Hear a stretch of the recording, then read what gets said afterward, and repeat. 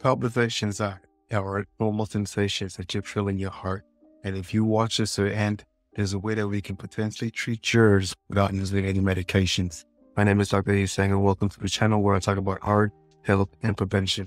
Now, what exactly are palpitations? These are abnormal sensations that you feel in your chest. They can be abnormal in the sense that it can be due to some type of underlying structural issue with the heart they can be normal, meaning that you don't have any structural issues, you just have them. Roughly around four, if not a little bit higher, six to 10% of people actually have palpitations with nothing wrong with them. We have palpitations that is benign. It can be a sensation of the skip beats. It can be a sensation of those fluttering. But then when we do other testing, we find that it is actually nothing at all. It is a normal sinus rhythm. Things that can make this worse, things that can exacerbate this includes drinking excess caffeine, alcohol intake, stress, and not getting enough rest. A lot of times we find that some of it can be due to some type of underlying other medical problems. Issues with the thyroid, with the adrenal glands can be a marker of it. Low potassium levels or magnesium levels can be associated with it.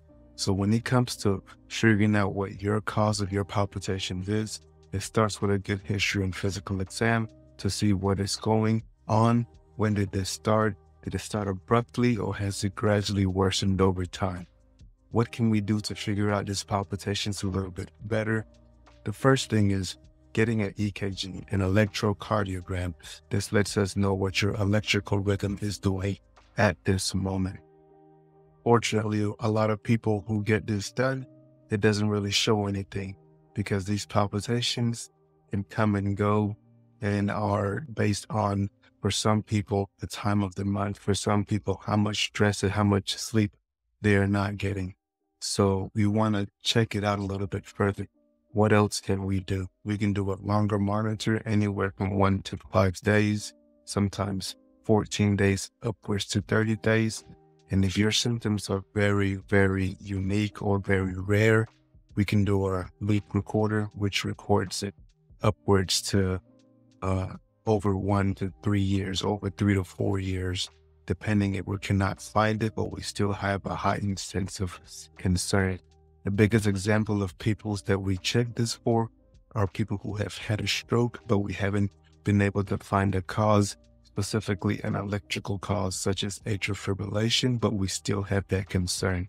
So we'll put in a loop recorder to further evaluate, monitor them for an extended period of time. So how can we treat it without medications?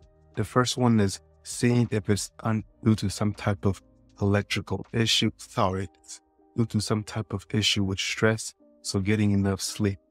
One of the biggest causes of it is excess caffeine intake. So one of the ways that we can prevent this is reducing the amount of caffeine. Had an individual come to me having drinking four to six copies, cups of coffee per day and significant benefits when he was able to drop that down to just one to two cups of coffee.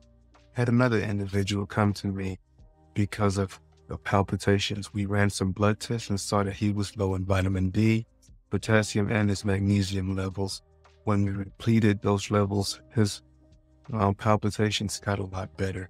Had another individual who I was working up in the process of working up for palpitations, only to find out that they had an overactive thyroid. So sometimes treating underlying conditions can essentially treat or cure your palpitations. But some people don't have palpitations come back with palpitations, we do further testing and find out that they may have some dangerous causes of their palpitations. We work those ones further with a stress test, potentially even a heart catheterization to look for blockages that can be causing these palpitations. Now, other than working them up, are there any medical therapies if per se the lifestyle changes are not enough? And the answer is yes. Mainstay treatments is beta blockers to help decrease the amount of palpitations, help with the heart rate, with the caveat of knowing that some people can have significant issues with um, uh, fatigue, tiredness while on the medication. It does take the body some time to get adjusted to it. For certain individuals, each person is different. Uh, for instance, I have several people on it, and despite being on it for several weeks or months, are still having the fatigues and tiredness. I have others who've been on it for decades and haven't had any issues. So it can fluctuate from person to person. Taking time to get your cause of it, treatment plan for you, and look for potential underlying causes is key.